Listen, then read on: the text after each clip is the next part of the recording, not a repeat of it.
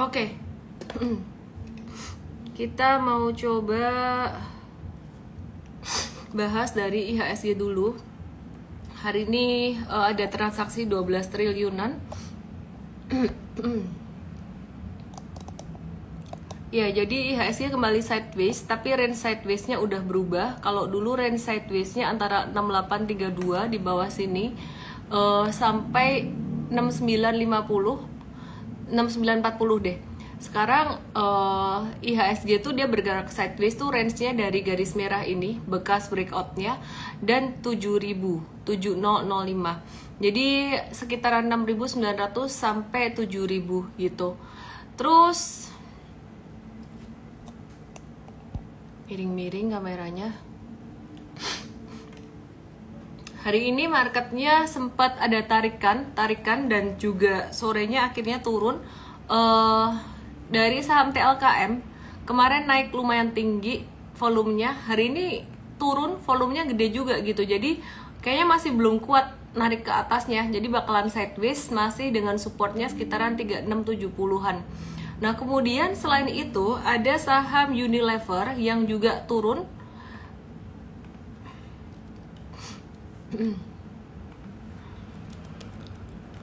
Unilever turun. Kita lihat patternnya di sini. Agak kurang enak nih patternnya Unilever nih ya. Jadi ini patternnya Unilever agak kurang enak. Dia turun gitu.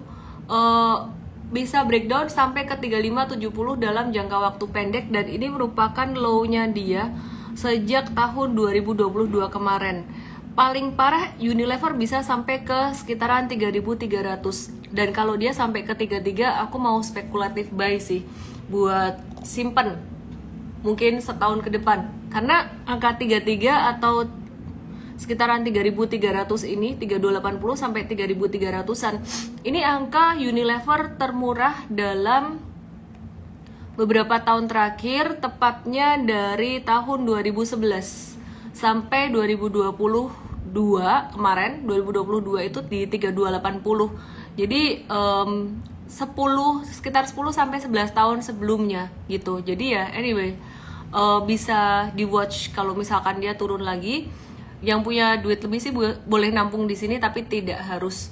Nah, terus ini ada pertanyaan tentang gudang garam apakah sudah reversal sedangkan gudang garam sendiri hari ini tadi juga turun 1,43 persen. Hmm. Hmm.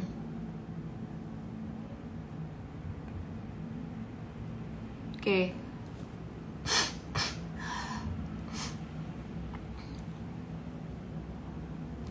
Bentar ya.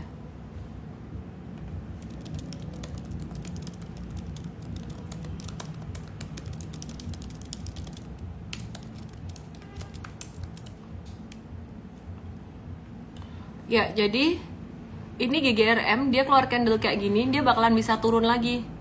Dia bisa turun lagi sampai sekitaran 17.250. Ya, jadi sampai di area ini. Wait and see dulu jangan buru-buru masuk dulu buat gudang garamnya. Ini masih bisa turun jadi kalau turun lagi dia nangkep pisau jatuh. Bisa nangkep pisau jatuh. Terus HMSP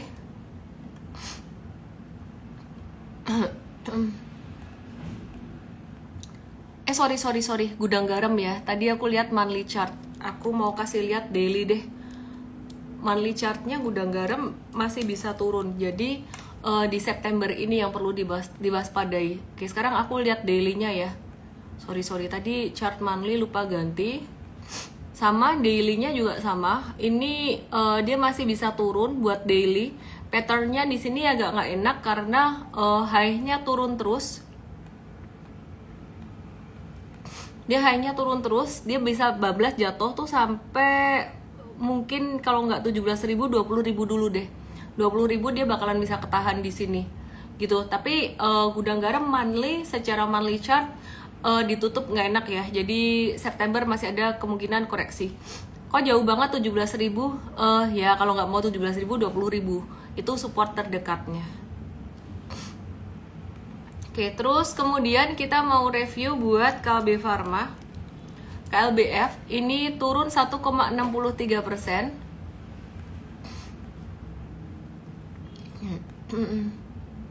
Ya 1,63 persen. Uh, dia sideways gitu.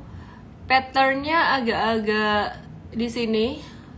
Resistennya turun juga jadi kesimpulannya masih bisa koreksi uh, 1800 angka support yang kuat. Aku mau kasih lihat monthly chartnya Kalbe Pharma.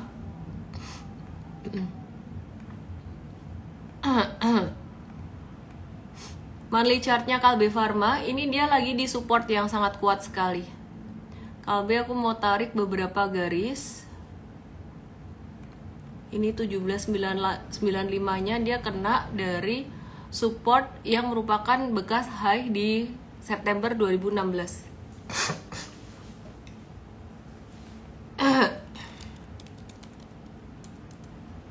ya jadi di September 2016 terus kemudian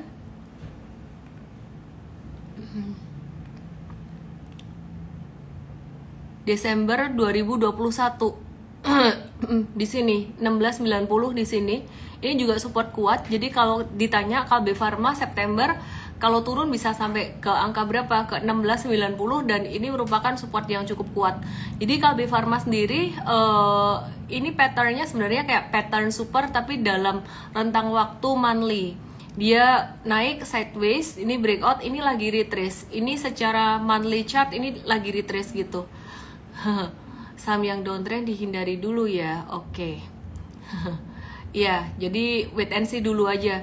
Oke, terus aku mau review kalau LBF masih turun lagi sih itu kata Resti iya. Hmm, Sido kapan ke gocap? Jangan dong.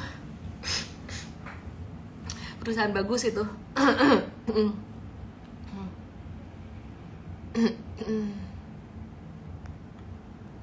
Oke, okay, kita mau review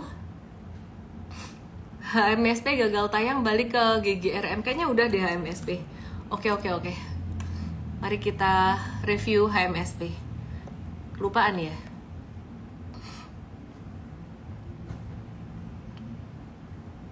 hmm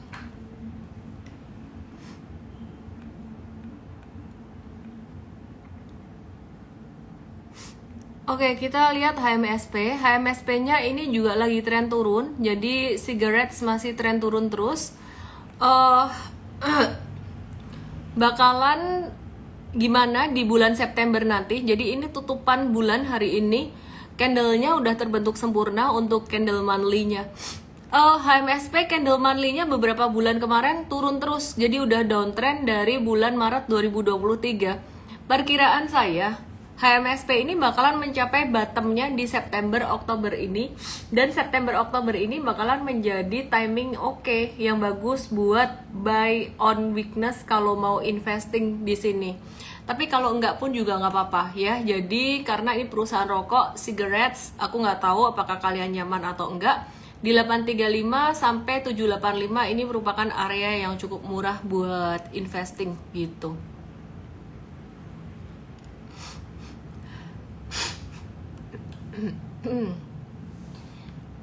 habis masak jadi kok tangannya bau butter ya? Oke okay. kita mau review saham yang lain. Ada saham DSNG dan TAPG sektor apa yang harus dihindari yang udah naik tinggi lebih ke saham-saham second liner yang udah naik tinggi? Ya Arianto jadi lebih ke saham-saham second liner yang uh, udah naik signifikan yang udah naik tinggi gitu. Dari berbagai sektor various. Uh, kita mau review DSNG dan TAPG dari CPO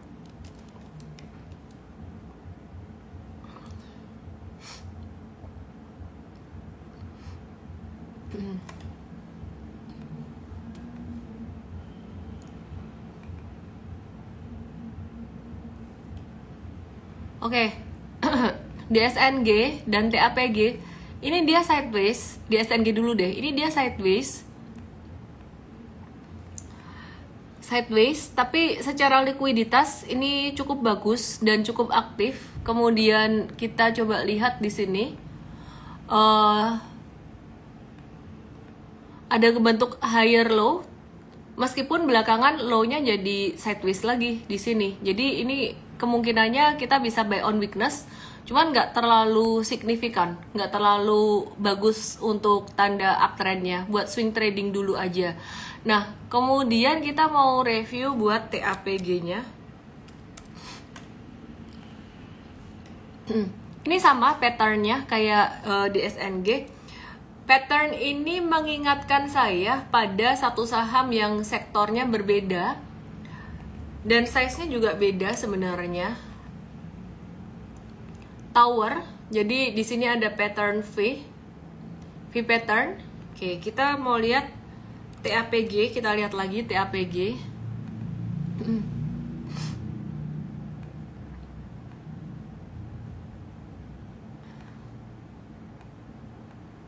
Ya.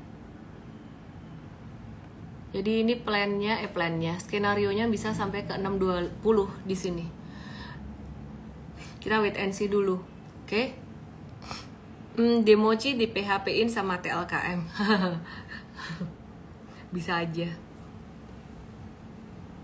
Satu saham sehari, program yang aku ajarin ke anak aku.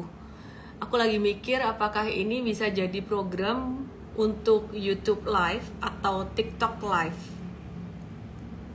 Artinya apa sih? Bahas analisis satu saham satu hari termasuk menjelaskan ini perusahaan apa. Is that a good idea?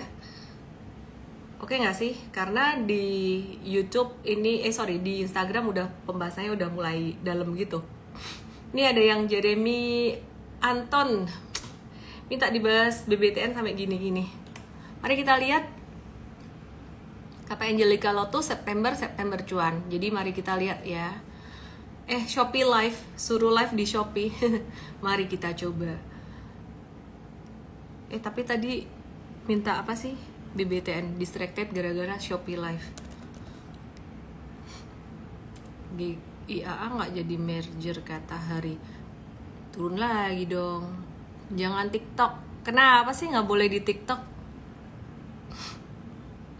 Besok jam 8 malam aku ada nge-live bareng Putri dari Pak Yahya Setia Atmaja. Beliau adalah CEO dari Bank BCA Beliau uh, Ibu Elizabeth Setia Atmaja baru aja dapat hibah saham sekitar 30 berapa ya? 30 hampir 34 M kali ya. Uh, eh, BBTN banyak ditanyain, artinya mungkin banyak yang punya di sini dan mungkin agak-agak galau. Secara pattern BBTN ini technical dia bakal bisa turun, jadi ada potensi dia turun sampai ke level 1225, bisa turun sampai di sini ya. Jadi uh, bulan September gimana dong? September arahnya naik atau turun buat BBTN? Kemungkinannya lebih banyak turun dibandingkan naiknya. Oke, terus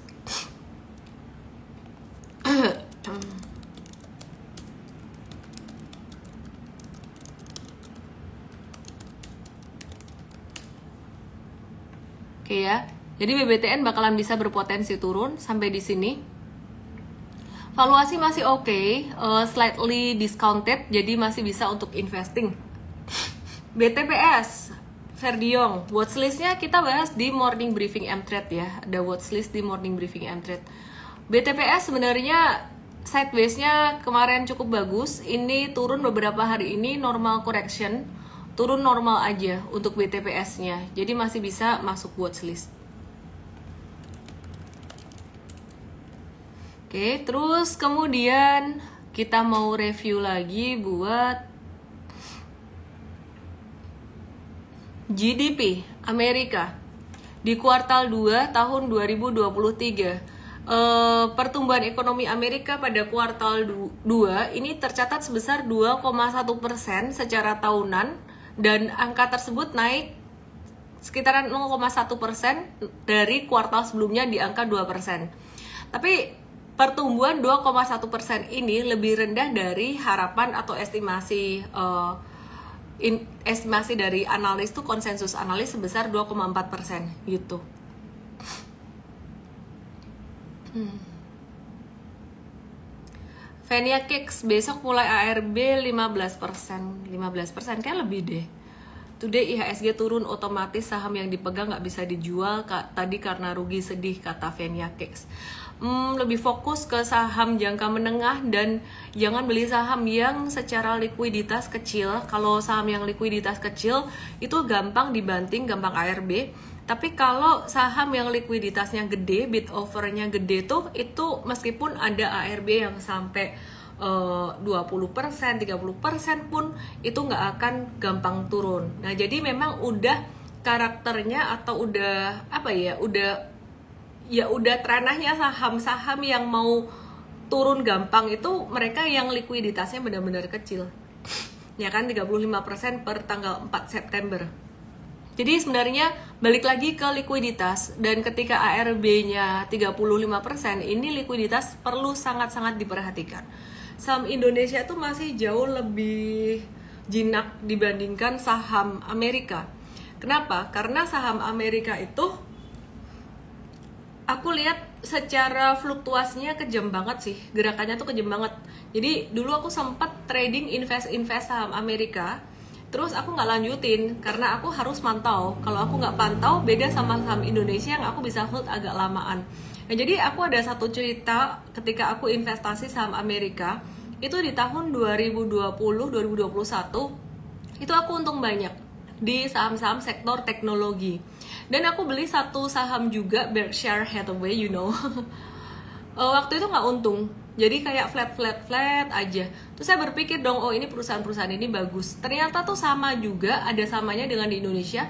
Uh, sektor teknologi itu trending doang gitu dan karena saya nggak bisa ngamatin malam tuh aku nggak bisa bangun gitu yang terjadi adalah saham-saham saya yang tadinya udah untung banyak dari sektor teknologi itu berbalik dari cuan banyak jadi nol bahkan jadi minus itu cepet banget loh dalam hitungan hari aja gitu dan sekarang kebalikannya malah Berkshire Hathaway-nya yang udah cuan sekitaran 100% cuman malah uh, saham-saham teknologinya ini yang jadi PR yang saya mau cut loss cut lossin gitu.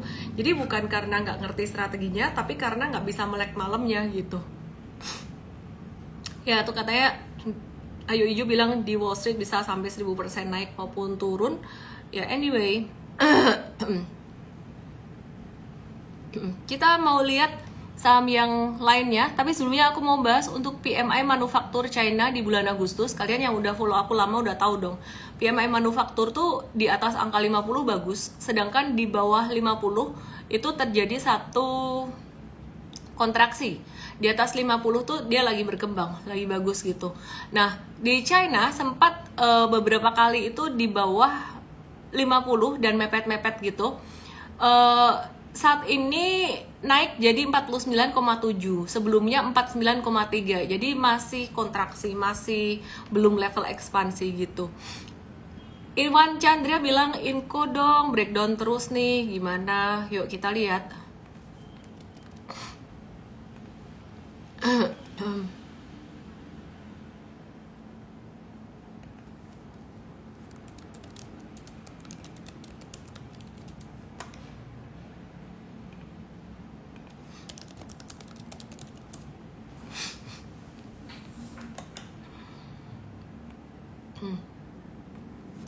I agree with you.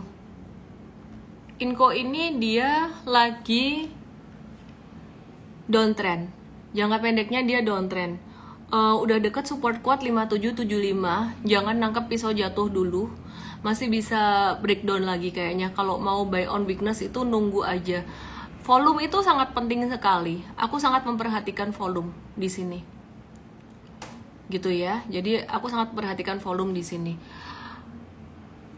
Oke, jadi ini merahnya banyak banget, jadi aku skip aja. Hmm, aku mau jawab pertanyaan Besusanda, apa saham yang favorit? Saham favorit aku apa? Untuk trading kita nggak boleh memfavoritkan saham, ya. Jadi kita nggak boleh memfavoritkan saham untuk trading. Sebentar, sebentar ya, sebentar ya.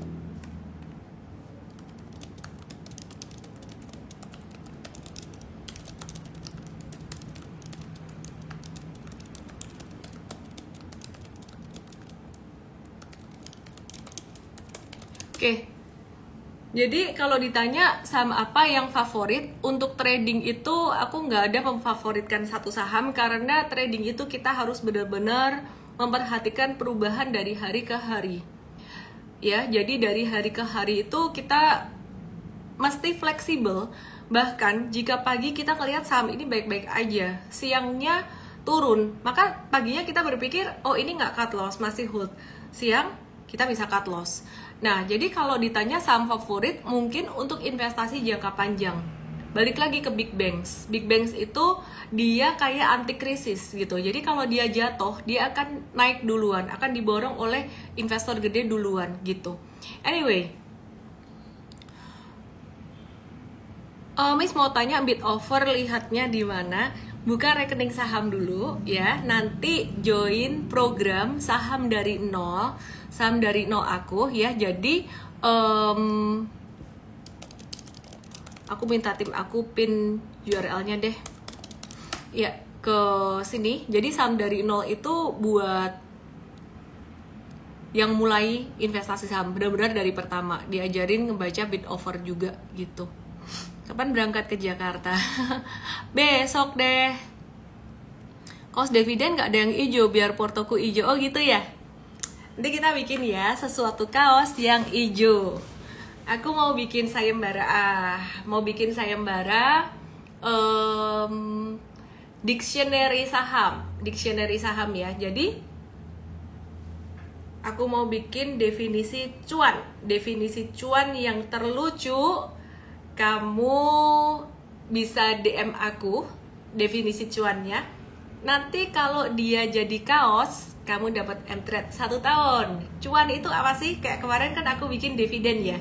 Dividen itu apa sih? Kemarin ada di feed post aku. Jadi ya oke okay, anyway.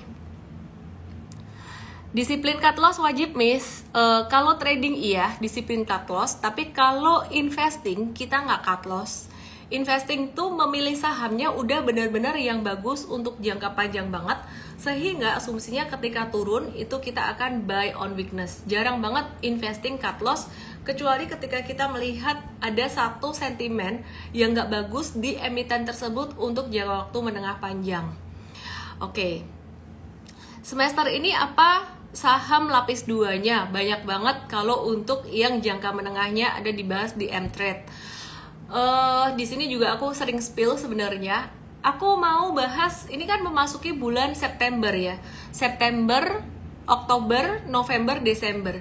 Tadi kita lihat ada banyak sekali saham-saham tuh yang arahnya masih akan turun.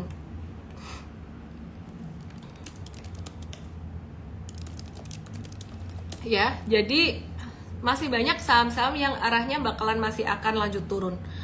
Kesimpulannya gimana dong? Di September ini justru malah jadi kesempatan buat kita. Kenapa? Karena The Fed bakalan menahan suku bunga sehingga nanti di Oktober kemungkinan besar banget akan terjadi satu reversal dan bahkan bisa terjadi window dressing di akhir tahun. Siapa yang udah siapin liburannya di akhir tahun nih? Aku belum sih. Enaknya ke mana ya? Cari yang dingin-dingin. Oke, jadi di akhir tahun ini akan ada kemungkinan uh, window dressing ya belum akhir tahun tapi kita udah mulai prepare nih um,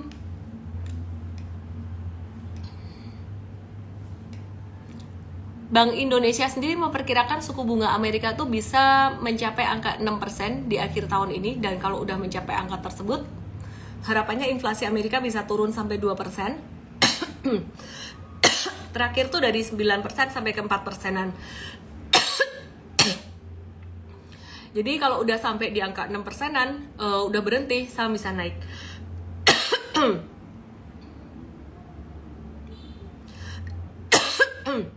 Ada yang bagus dari Indonesia di bulan Juli ini data yang dikumpulkan dari tim M-Trade juga.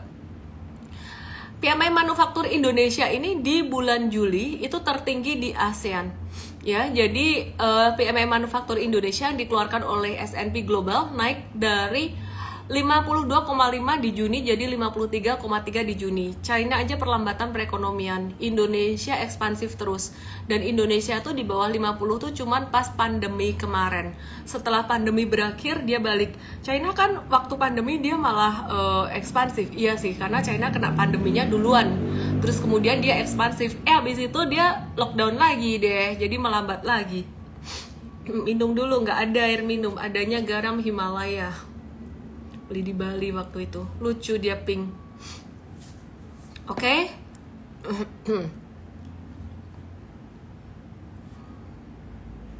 aku mau pin di sini yang pengen belajar saham dari nol. Uh, aku nggak tahu jadwalnya bisa lihat di situ aja. Jadi ke mtrade.id garis miring saham dari nol ya. Oke okay? terus BBCA BBNI aku agak-agak bosen bahas saham big caps, big banks. GoTo, aku mau bahas GoTo. Hari ini market transaksinya mencapai 12 triliun lebih. Wah, rame dong. Sebenarnya yang bikin rame saham GoTo. Tumblernya ke mana? Lagi dicuci. Lagi dicuci, Pak. Pak Hendra atau Hengki. Oke. Miss maunya ke New Zealand. Iya nih, iya nih pengen nih, tapi nanti aku IG live-nya gimana dong? dikasih off nggak nih dua minggu? IG live off dua minggu karena saya ke New Zealand. Nggak lucu kan? Saya ke New Zealand masa saya suruh IG live jam berapa? Jam 3 pagi di sana. Gimana dong? Kasih off nggak nih saya IG live nya oke okay, yay gue tuh naik kata siapa tuh? Aritonang Daniel. Uh, ini naik dalam beberapa hari. Ini memang volume transaksinya lumayan besar. Uh, sekitaran sebentar aku cek ya 1,48 triliun rupiah transaksi naik 100% atau menjadi dua kali lipat per bulan Agustus kemarin. Karena memang dia juga udah murah banget juga, mungkin ada yang ngeborong-borong di bawah juga. Ya baguslah dia ketahan di 84 jadi support yang sangat kuat sekali. Ini beberapa kali ketahan di 80-an, level 80-an di Desember 2022 dan juga ya ini beberapa kali Desember 2022 dia ketahan di situ. Oke, terus uh, masih bisa naik lagi kemungkinan sampai level 104 bukan buat diborong ya gengs. Buat mengurangi posisi aja. Karena ini menurut aku sih masih rawan-rawan gitu deh. Oke. Ke Aussie aja beda 3 jam sama WIP aku pengen ke New Zealand. Boleh nggak aku off dua minggu IG live nya nanti diganti IG live di Mtrade ID deh sama tim coach Mtrade Iya, Sariye, kamu sangat mengerti pertanyaan eh apa perasaan aku. Wahyu Dargono jawaban sayembaranya dikirim ke mana? Ntar ya aku bikinin di story ya. Aku bikin story bisa juga DM aku. Sayembara apa sih? Sayembara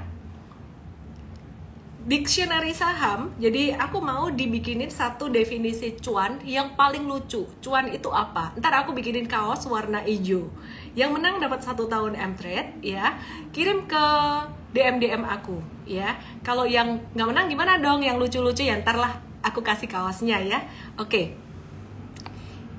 Tahu nggak sih dictionary saham tuh kayak yang kaos dividen yang aku sempat buat beberapa waktu yang lalu tim aku buat sih iseng sih. Itu di post di feed post aku. Oh, Pak Teddy sudah muncul.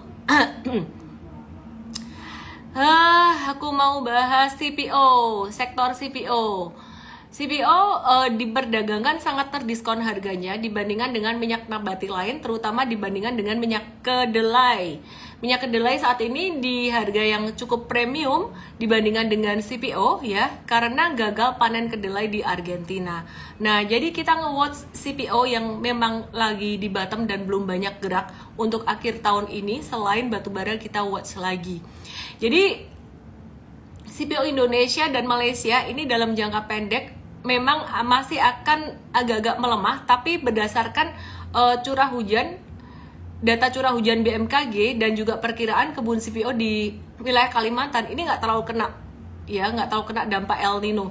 Intinya harga CPO tuh udah murah banget gitu. Jadi kita watch aja saat ini untuk sektor CPO ah Johnny Lee Johnny Lee PTBA-nya turun, boleh nggak? Live-nya dicepetin sih kalau lagi ke New Zealand tetap nggak bisa. Jam 9 di sini kayaknya jam 3 pagi deh di sana. Benar nggak sih? sampai aku mau bikin plan ke New Zealand nggak berani loh. Mikirin kalian loh. Uh, ting ting ting ting. Apa tadi? Jadi Lola. Mau bahas sama apa ya tadi ya? Oh PTBA ada yang nanya PTBA kurang omega 3 get easily distracted PTBA PTBA breakdown belum kena stop loss nih kita DM trade uh, breakdown jangka pendek kalau kan kalau dia turun lagi kita akan cut loss buat jangka pendeknya. Tapi jangka menengahnya kita masih ngehold. Perhatikan jatuhnya di sini volumenya kecil-kecil, imut-imut banget gitu. Jadi ini normal correction. Nggak normalnya kapan dong? Nggak normalnya jika dia jatuh di bawah 2720. Aku pasang lagi garis di 2720. Ini batas bawahnya. Begitu. Oke, ada yang nanya ADMR. live di sana jam 8 morning briefing dong ntar aku buka dong morning briefingnya dua minggu jam 8 kan morning briefing M-Trade eh di sini siang hmm siang kan marketnya belum tutup gengs. Jam 8 jam 4 sore di sini di sana jam 10 malam.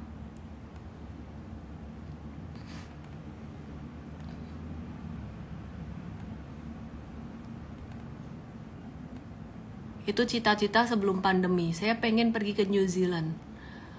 Terus kena pandemi deh terus nggak jadi deh oke.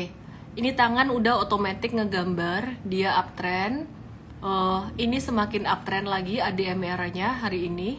Dua hari ini naik dengan volume tinggi dia ada tiga kali percepatan tren tadi jelasin di workshop. Uh, hari ini breakout double resistance. Bagus bisa sampai ke 1510 hold aja dulu esanya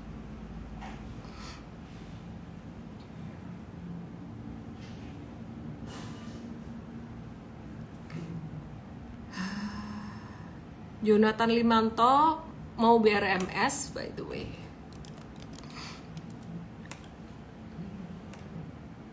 Gimana kalau aku bikin program satu saham sehari di TikTok?